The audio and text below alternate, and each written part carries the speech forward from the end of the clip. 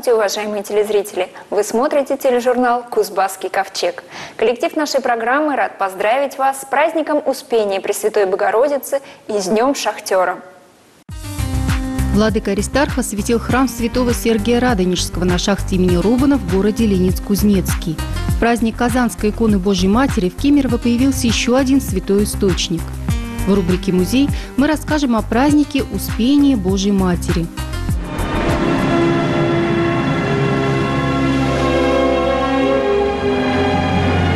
Дорогие шахтеры, труженики горных предприятий и соотечественники, для нас сердечная радость встречать вместе с вами славный праздник Дня Шахтера и прежде всего передать добрые пожелания и поздравления от его святейшества, святейшего патриарха Московского и всея Руси Кирилла. Сегодня свой профессиональный праздник отмечают мужественные и сильные духом люди, шахтеры, чей нелегкий труд является залогом стабильного развития российской экономики и благосостояния наших людей, особенно в пределах Кузбасса. В этот праздничный и светлый день примите искреннее поздравление с профессиональным праздником, который пользуется всеобщей любовью и стал главным в Кузбасском регионе. День Шахтера является для жителей Кемеровской области одним из самых долгожданных и любимых. Но этот праздник мы иногда празднуем и со слезами на глазах, переживая боль трагедий на угольных предприятиях и утрату человеческих жизней. Можно сосчитать тысячи погонных метров горной выработки, но не счесть всех слез родственников погибших горняков. На территории Кузбасса в памяти погибших тружеников горнодобывающей промышленности построены часовни и святые храмы. Они созидались на средства шахтерских коллективов, жертвователей, благотворителей на сбережение прихожан. Это истинно народные храмы-памятники о самоотверженном труде ветеранов шахтерской славы и тех героев горняцкого труда, которых сегодня с нами нет. В этот замечательный день хотелось бы выразить каждому шахтеру искреннюю благодарность за тяжелый и самоотверженный труд. Напомнить еще раз об очень важном. Не забывайте об ответственности, о том, что от поведения каждого зависит жизнь и здоровье других горняков. Молитвенное предстательство святой великомученицы Варвары пусть станет покровом от бед и опасности наших тружеников шахтерского труда. Хотел бы вам пожелать доброты сердца. Нужно научиться помогать друг другу. И в ответ на эти добрые дела мы будем получать и сами много доброго от других, получать добро и от самого Бога.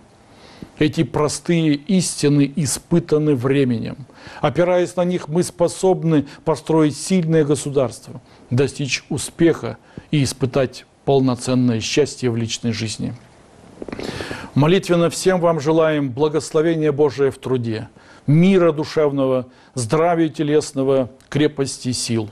Самое главное – готовности и способности, несмотря ни на какие трудности, идти вперед – устраивает духовную и материальную жизнь шахтерского региона. Спаси и сохрани во всех Господь.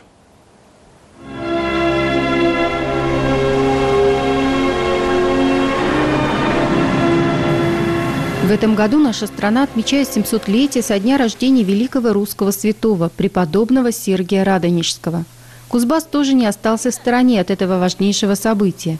Одним из самых ярких в ряду праздничных мероприятий можно смело назвать открытие и освящение нового храма в честь святого Сергия, игумена земли русской.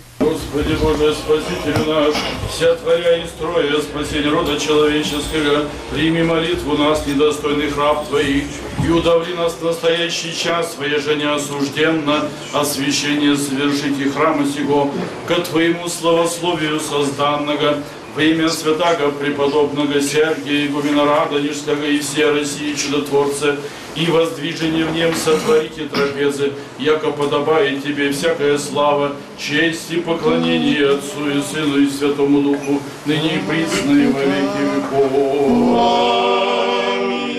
19 августа в праздник Преображения Господня митрополит Кемеровский Прокопьевский Аристарх совершил чин великого освящения храма преподобного Сергия Радонежского, построенного на территории шахты имени Рубана в городе Ленинск-Кузнецкий.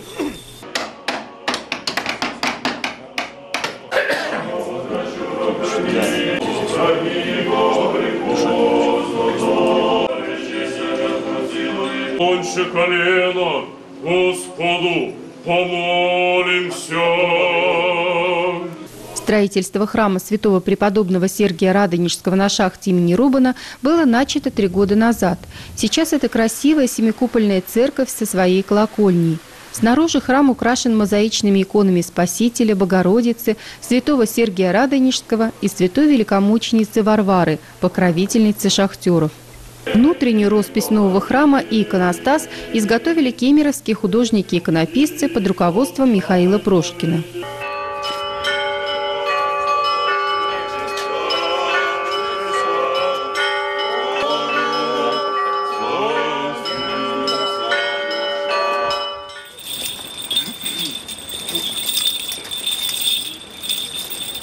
После освящения новой церкви правящий архиерей поздравил верующих с праздником Преображения Господня и появлением на Кузбасской земле нового храма в честь преподобного Сергия Радонежского. Владыка рассказал присутствующим о том, какую значительную роль сыграл в истории России этот святой человек. Вершиной торжества стала первая божественная литургия в новоосвященном храме, которую возглавил сам Кузбасский архипастырь. Вдвойне праздничным было событие освящения церкви в честь преподобного Сергия Радонежского на Кузбасской шахте, потому что совершалось оно накануне большого профессионального торжества – Дня шахтера. Освящение храма в честь преподобного Сергия Радонежского было названо важнейшим событием и представителями светской власти в регионе. Молитвенное участие в празднике приняли губернатор Кемеровской области, представители администрации, руководители шахт, строители. После окончания богослужения почетные гости и прихожане храма приняли участие в освящении памятника небесным покровителям христианской семьи, святым князю Петру и Февронии Муромским. Эта скульптурная композиция не только украсила парковую зону, организованную на территории церкви, но и наполнила ее особым смыслом. Когда мы с вами освещаем какой-либо храм, какую-либо часовню или скульптурное изображение святых, мы через это освещаем и нашу жизнь, быт, среду, в которой мы живем. Сегодня это уютное место украсила скульптурная композиция в честь покровителей семьи, любви и верности, муромских святых князей Петра и Февронии. Именно их супружеский союз в истории Святой Руси считался образцом христианского брака. Торжества продолжились в скрытом модуле на территории шахты имени Рубана. Губернатор Кемеровской области Аман Тулеев обратился к шахтерам и строителям храма с призывом хранить веру, которая во все времена помогала нашему государству отстоять свою целостность и единство.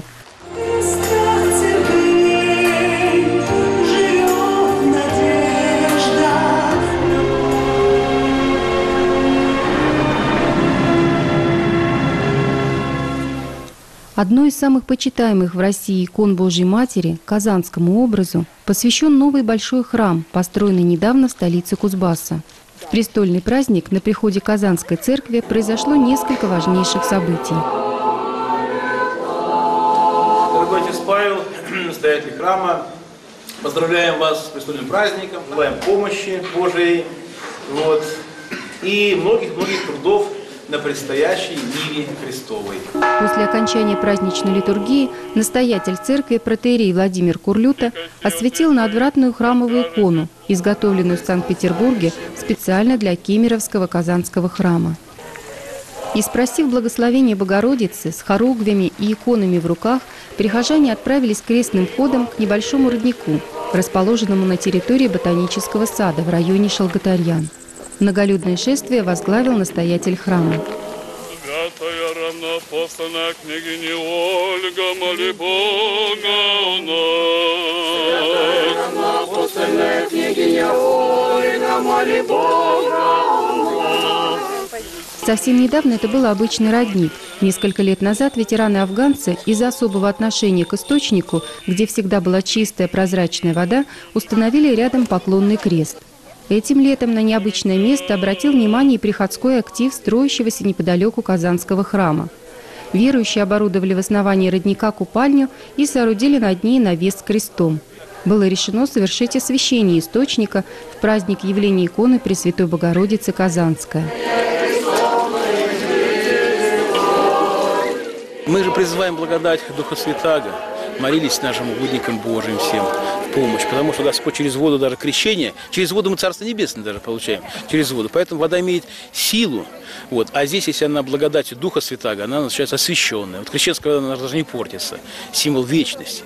Поэтому мы же тоже есть, сколько, 70% по-моему, у нас состоит, из воды состоим. Поэтому, если мы будем пить крещенскую воду, омывать себя крещенской водой, то будем охранять себя благодатью Божией. Меньше к нам прилипнет разные гадости, разных грехов.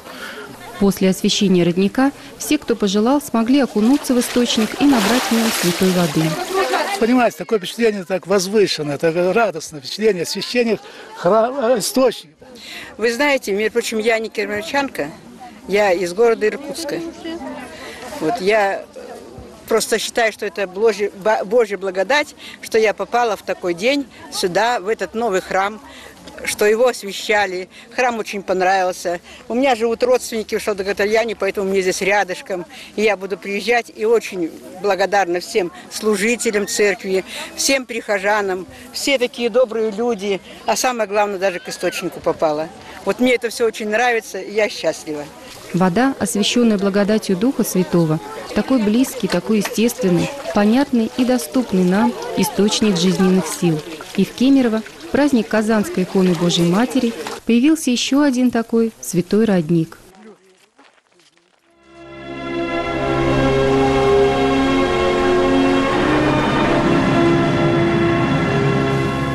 Здравствуйте, уважаемые телезрители! 28 августа Русская Православная Церковь празднует праздник Успения Пресвятой Богородицы. И сегодня мы вам расскажем об истории и иконографии этого праздника – а поможет нам в этом искусствовед Людмила Владимировна Оленич. Людмила Владимировна, расскажите, что за праздник Успения Пресвятой Богородицы и что означает само слово «Успение»? Успение Богородицы – это один из 12 важнейших праздников, которые отмечаются православной церковью. И его понимание, отношение к нему связано вообще с почитанием образа Богородицы. И если уж обращаться к истории на этот счет, то, конечно, надо вспомнить, как это было еще у первых христиан. По крайней мере, в римских катакомбах мы уже встречаем первое изображение Богородицы, но там она еще живая, она или с младенцем изображается, или в виде аранты. Но э, то, что отношение к ней уже во втором-третьем веках было благоговейным и очень высоко почитающим ее, это очень важно и для дальнейшего развития других праздников, связанных с ней. В V веке уже складывается именно традиция успения, а, особого отношения к событию смерти Богородицы, успе, значит, уснуть по-русски, по-древнерусски, но в данном случае и умереть тоже. Но умереть совсем ненадолго. Как мы знаем, по многим сюжетам священного предания, которые сопутствуют этому событию, а, Богородица была предупреждена о своей смерти. После смерти своего сына и воскресения его она прожила еще 12 лет в доме Иоанна Богослова. Оба они были целомудренными людьми, оба вели аскетический образ жизни, и именно это, наверное, их еще и соединяло. И вот прожив э, еще столько лет после воскресения Иисуса Христа, она получила от Архангела Гавриила, который уже приходил к ней с известной нам вестью, она получила известие о своей смерти. Она приняла ее, э, эту весть, конечно же, с благодарностью, и попросила только, чтобы все апостолы с которыми она вместе принимала Святаго Духа, чтобы они собрались возле ее одра смертного. И действительно это случилось. Они просто на облаках собрались мгновенно возле ее одра и, ну, так или иначе успели попрощаться с нею. Она ушла без мучений, без страданий, очень спокойно, простившись со всеми, с кем хотела. Похороны ее были тоже, как говорит нам предание, весьма и весьма примечательны в Иерусалиме. Когда несли ее одр по улицам города, то многие и язычники, и иудеи сопротивлялись этому. Мы знаем, что встретившийся на пути этого шествия э, первосвященник хотел опрокинуть одр, но здесь случилось таинственное наказание. Ему он лишился рук, а потом и возвращены были, конечно, ему руки. Но даже если бы это не случилось, то все равно, наверное, та толпа, которая видела это шествие, э, она была потрясена невероятной какой-то мистической силой и светом, э, облачным светом, как описывается, который исходил от этого адра и от всего, что происходило. Богородицу похоронили, ну, сказали бы мы современным языком, в фамильном склепе, где похоронены были ее родители и Иосиф Обручник, ее муж. И там ее гроб остается до сих пор. Сама она воскресла телом. Да, сама она воскресла, потому что через три дня после этого захоронения э, явился опоздавший, отличный от всех апостолов, как всегда, и недоверчивый апостол Фома. И он хотел проститься с нею тоже, и он пришел в этот гроб, ведь гроб – это у иудеев пещера настоящая. И когда подняли крышку э, гроба, которым было закрыто, был закрыт одр, вернее так скажем, то все увидели, что там пустая плащаница, только плащаница, и исходит невероятное благоухание после Богородицы. И все поняли, что она и физически вознеслась на небеса, подобно своему сыну. Мы так просто об этом говорим – а, хотя на самом деле в этом событии и в почитании Богородицы, и в догматике этого праздника, и вообще в отношении к ней, конечно, заключено очень много сложных-сложных смыслов. Ведь э, наше отношение к Богородице – это прославление Бога, вот, который выбрал совершеннейшую из людей. В то же время она и несла на себе, вот, в себе тоже первородный грех, который искупит ее сын. Она не богиня, но она и лучшая из людей – настолько лучшее, что мы должны благодарить Бога за то, что Он дал нам вот этот образец, идеал вообще человеческого такого э, невероятно возвышенного качества, свойства, к которому всегда можно обратиться. Честнейшая Херувим и славнейшая, без сравнения Серафим, она и сравнялась с силами небесными, и в то же время во многом превзошла их. С одной стороны, невероятная теплота всего человеческого, что в ней присутствовало, ее простота, ее скромность, ее э, вот это обращение к рукоделию, о котором мы знаем и по Благовещению, и по другим сюжетам. А с другой стороны, э, невероятная совершенно сила э, божественного начала, которое в ней присутствовало. Она лучшая, самая совершенная, оставленная нам э, по замыслу Божию.